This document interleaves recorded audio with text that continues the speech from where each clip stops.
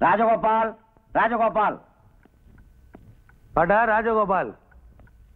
ஏய் என்னடா லுக்குற உட்கார்றா. நீ யாருன்னு சொல்லவே இல்லையாடா? நீ பாட்டு உட்கார நான் எப்படிடா உட்காருது? அட இவர் தாங்க முதலாளி. சார் சொன்னா தானே சார் தெரியும். ஏன்னா எனக்கு சுயமரியாதை கொஞ்சம் ஜாஸ்தி. கோவம் வந்து நான் டக்குனு தூக்கி போட்டு மிதிச்சு போடுவேன். ஏன்னா கேரக்டர் எப்படி? ஆ, சரி ஆனதா இப்ப உட்காருங்க இன்டர்வியூ ஆரம்பிப்பேன் ஆ சும்மா பாக்காதீங்க உட்காருங்க. ஆ டக்குனு. முதலாளி பத்து மார்க் ஜாஸ்தியாவும் போட்டேன். போட்டியா. சரி. மிஸ்டர் ராஜகோபால். ஆ. உங்ககிட்ட ஒரு இன்டெலிஜென்ட்டான கொஸ்டின் கேட்கலாமா? கேளுங்க. அதாவதுங்க அஹ், குட்டின்னா என்னங்க? குட்டினா பன்னிக்குட்டி கழுதைக்குட்டி டைனாசர் குட்டி நாய்க்குட்டி கரடி குட்டி என்னது கரடி குட்டி மட்டும் என்ன பார்த்து சொன்னேன் என்னமோ தெரியல டக்குன்னு ஞாபகம் வந்தது. போதும்பா போதும். வெட்டினரி டாக்டர் மாதிரி வெரைட்டியா குட்டிகளை சொல்லிட்டேன் பட் நான் உங்களை ஒன்று கேட்குறேன். டோன்ட் மிஸ்டேக் மீ குட்டின்னு சொன்ன உடனே உங்க வயசு பசங்களுக்கு அழகான பொண்ணு தானே ஞாபகத்துக்கு வரும். மிஸ்டர் ராஜகோபால் இருங்க. என்ன பசுன்னு கோச்சு போறீங்க? பின்ன என்ன சார்? தெய்வமா மதிக்க வேண்டிய பொம்பளைகளை போய் குட்டின்னு சொல்றீங்க.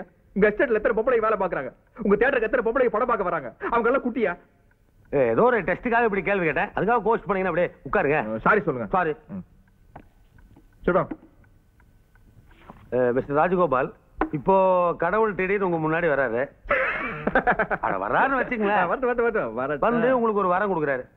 அதாவது நீங்க நல்லா இருந்தீங்கன்னா கம்பெனி உருப்படாம போயிடும் கம்பெனி நல்லா இருந்ததுன்னா நீங்க உருப்படாம போயிருவீங்க. இதுல எது வேணும்னு கேட்டா என்ன சொல்லுவீங்க? நான் வந்து சார் நான் நல்லா இருக்கணும் தான் வரேன் கேப்பேன் சார். அதுக்காக கம்பெனி உருப்படாம போகணுங்கிறியா? இப்ப நான் என்ன சொல்லிட்டேன் பின்ன நான் நல்லா இருக்கணும்னு வரேன் கேப்பேன்னு சொன்னேன். நான் வேற இந்த கம்பெனி வேறையா சார்? என்னை கம்பெனி பிரிச்சு பேசாதீங்க சார். நடிப்பு வேற சிவாஜி வேறையா சார்? மியூசிக் வேற இளையராஜா வேறையா சார்? பர்சனாலிட்டி வேற எம்ஜிஆர் வேறையா சார்? தாடி வேற நீங்க வேறையா சார்? அல்வா வேற நீ வேறியா? இல்ல டக்கு டக்குன்னு கொடுத்துட்டே இருக்கியா. போடு போடு நல்லா மார்க் போடு. போய் போட்டு போறேன். போட்டியா? போடு. அப்புறம்? சார் நான் பாஸ் ஆயிட்டேன் சார். பாஸ் ஆயிட்டே இருக்கேன் லாஸ்ட் கொஸ்டின் உனக்கு கல்யாணம் ஆயிடுச்சா? இல்ல சார். சொதப்பிட்டியாப்பா. என் கம்பெனில கல்யாணம் ஆனவங்களுக்கு தான் வேலை. ஏன்னா அவங்களுக்கு தான் ஒரு ரெஸ்பான்சிபிலிட்டி இருக்கும். நீ தான் கல்யாணம் ஆகலைன்னு சொல்லிட்டியே? ஃபைல் எடுத்துட்டு கிளம்பு. சார் எனக்கு வந்து சார் கல்யாணம் ஆயிருச்சு சார். என்னப்பா இது? இப்பதான் கல்யாணம் ஆகலைன்னு சொன்னேன். உடனே ஆயிடுச்சுன்னு சொல்றியே? எனக்கு கல்யாணம் ஆயிருச்சு சார் நான் ஆகாத மாதிரி சார். ஏன்னா என் பொண்டாட்டி தெரு தெருவா சுத்துருவா சார். ஐயய்யே கேரக்டர் ரொம்ப மோசமா இருக்கே. ஐயோ அப்படி இல்ல சார். அவ பத்தினி தான் அவ வந்து போஸ்ட் ஆஃபீஸ்ல வேலை செய்யற பொம்பளை போஸ்ட் உமன் நான் இங்க அவன் மெட்ராஸ்ல. நாங்க ரெண்டு பேரும் சேர்ந்து வேலை செஞ்சா தான் குடும்பத்தை காப்பாற்ற முடியும் அப்படிங்கிற மாதிரி ஒரு சுச்சுவேஷன் நீங்களே சொல்லுங்க சார். இதுக்கு பேர் கல்யாணமா சார்? இதுக்கு பேர் ஒரு வாழ்க்கையா சார்? உங்க ஸ்டோரி கேட்டா எனக்கே ரொம்ப ஃபீலிங்கா இருக்கு. சம்பாதிக்கிறதுக்காக கல்யாணம் பண்ண பொண்டாட்டியவே பிரிஞ்சிருக்கீங்கன்னா யூ ஆர் கிரேட் ஆனா உங்களுக்கு கல்யாணம் ஆயிடுச்சு அது ஒன்னே எனக்கு சாட்டிஸ்பாக்சன் யூ ஆர் அப்பாயிண்டட்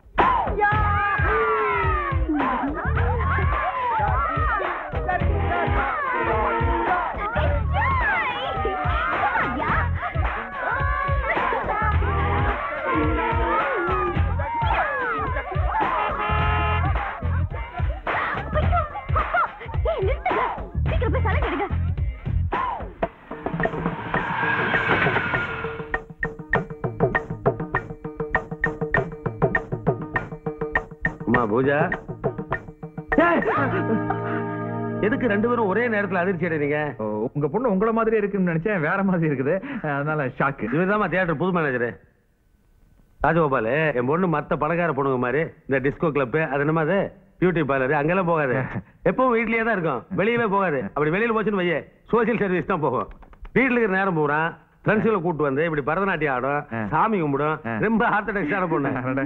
பார்த்தாலே தெரியுதுங்க. உங்க பொண்ணு பெரிய பியூட்டி பார்லர்னு பியூட்டி பார்லரா கொஞ்சம் அழகா இருந்தா பியூட்டி ரொம்ப அழகா இருந்தா பியூட்டி பார்லர் அம்மா பூஜா நாளையில இருந்து பரதநாட்டியத்தெல்லாம் நம்ம வீட்டுல வச்சுக்க. ஏன்னா நம்ம மேனேஜர் இந்த கெஸ்ட் ஹவுஸ்ல தான் தங்க போறாரு. ஆஹா எங்களுக்கு இந்த இடத்துல ரொம்ப வசதியா இருக்கு. நீங்க வேணா மேனேஜருக்கு வேற இடத்த வாடகை பிடிச்சு கொடுங்க. வாடகைக்கா? ம். என்னம்மா நீ? ஏப்பா பெருமாள் சாமி மேனேஜர் நான் விளையாட்டா ஆமா. நீ வாடகைக்கு இருந்தீங்கன்னா என் பிரிசிஷன் நல்லா இருக்கு. நீ இங்கேயே தங்குப்பா சரி. அப்புறம் இது பாரு என்னுடைய எஸ்டேட் சரி. தியேட்டர். ஃபேக்டரி. வீடு பொண்ணு. எல்லாத்தையும் நீ தான் மெயின்டைன் பண்ணணும் பொண்ணை சேர்த்து சொல்லிட்டீங்க ஆமா பர்சனல் மேனேஜர் நான் விளையாட்டா எல்லாத்தையும் தான் மெயின்டைன் பண்ணணும் இது வருமா இனிமேல் உனக்கு எந்த பிரச்சனையா இருந்தாலும் மேனேஜர்கிட்ட டீல் பண்ணிக்க. பா நீ என் பொண்ணை நல்லா டீல் பண்ணணும் அதெல்லாம் நல்லா டீல் பண்ணுவான் நீ இன்னைக்கு தான் வரைய பாத்திருக்க இன்னும் ரொம்ப நாள் பழகுற மாதிரி பேசுறிய? அது ஒரு ஊகம் தான் இந்த அமைப்புக்கு அப்படி வரும்னு சொன்னேன். ஆஹ், முதலாளி. உங்களுக்கு இந்த பரதநாட்டில ஏதாச்சும் டேஸ்ட் இருக்குங்களா? டேஸ்டா. பிளட்டுப்பா ஓஹோ. பரம்பரை பரம்பரையா? நாங்க இந்த பரதநாட்டிலே வளர்ந்தவங்களாச்சே? அடடே, எங்க பாட்டி இருக்கு. தன்னுடைய தொண்ணூத்தஞ்சாவது வயசுல. பரதநாட்டியம் ஆடும் போதே ஹார்ட் அட்டாக்ல செத்துறாங்க ரொம்ப சிறு வயசா இருக்கு. வயசு. ஸ்டேஜ்லயே இருந்தாங்கப்பா என்னுடைய பரதநாட்டியத்தை ஆமா. Don't worry. நட்டு வாங்க ரெடி பண்ணுங்க. சரிங்கய்யா.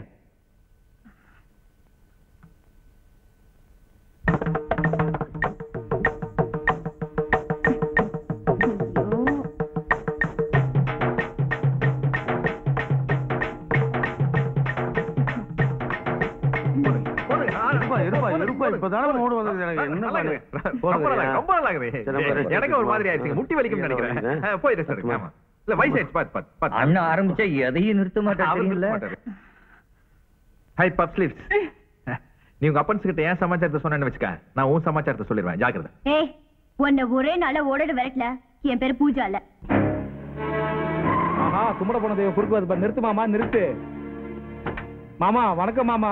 என் நிலைமையை பாத்தியா? உன்ட்ட ஒரு முக்கியமான மேட்டர் பேசி ஆகணும் எந்த மேட்டர் வீட்டுல வந்து பேசுங்க. இப்படி ரோட்ல நின்னு பேசினா? டேய் ஜால்ரா. உன்னை ஓங்கி அப்பிருவேன். என் மாமாட்ட நான் எங்க பேச எப்போ பேசுவேன். நீ யாரா கேக்குறதுக்கு? மாமா நிலைமை ரொம்ப மோசமா போச்சு மாமா.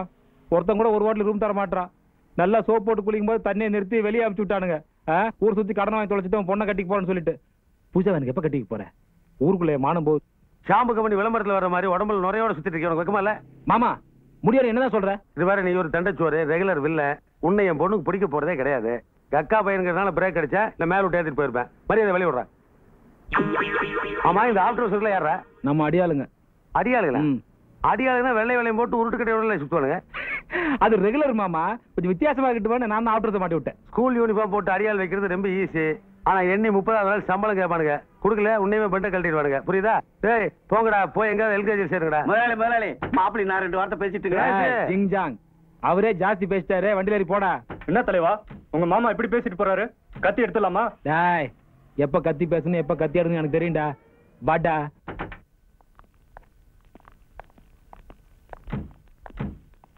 ம். நான் சொன்னபடி செஞ்சிருவாங்கல்ல? எல்லாம் அசத்திடுவாளுங்க அந்த ஆள் வேண்டானாலும் விடக்கூடாது. போங்க ஓகே. ராஜகோபால் நிச்சயமா இன்னைக்கு உனக்கு வேலை காலி. அம்மா நல்லா இருக்கீங்களா? இன்னைக்கு அனைமா முதலாளி சம்பளத்தை கொடுத்துருவாருன்னு நினைக்கிறேன். தங்கச்சி ஸ்கூல் ஃபீஸ் எல்லாம் கட்டிடலாம். இனிமே பிரச்சனையே இல்லை குடும்பம் சந்தோஷமா இருக்க வேண்டியதான் என்ன தேவதைகளா இவ்வளவு லேட்டா வரீங்க? இன்டர்வியூ போகுது. கேபின்ல உட்காந்து படம் பார்க்கலாமா? மேனேஜரை பார்த்து பேசிக்கிறோம். மேனேஜரியா ராஜகோபால் உனக்கு உடம்பெல்லாம் மச்சண்டா. வச்சிருங்கம்மா.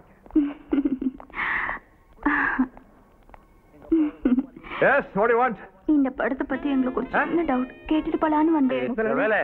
என்ன சினிமா ஒரு முடியல சைட் அடிக்கிறியா இதுக்கு தாயா கல்யாணம் ஆகிற ஆளு இல்ல சினிமா கடையில் வேலைக்கு வைக்க கூடாதுங்கிறது. உனக்கு மேனேஜர் மாதிரி கல்யாணம் ஆயிருந்துன்னா பொம்பளை திரும்பி பாப்பியா? எங்க மேனேஜர் உள்ள என்ஜாய் பண்ணிட்டு இருக்காரு. இல்ல வெளில போயிருக்காரு யோ உள்ள நீ உருளை சத்து கேக்குது. ஒண்ணு இல்ல மூணு உருளுது. யோ. அது அது வந்து மூணு பூனை ஒரு எலிய கவுதுன்னு நினைக்கிறேன். உருளுதா? என்ன பத்தி இங்க வந்து.